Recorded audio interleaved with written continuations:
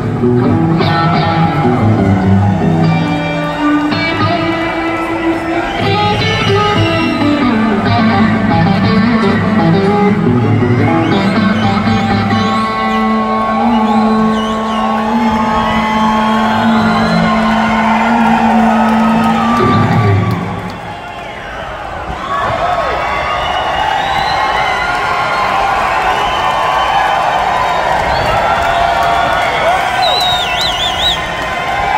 Just making this stuff up as we go along.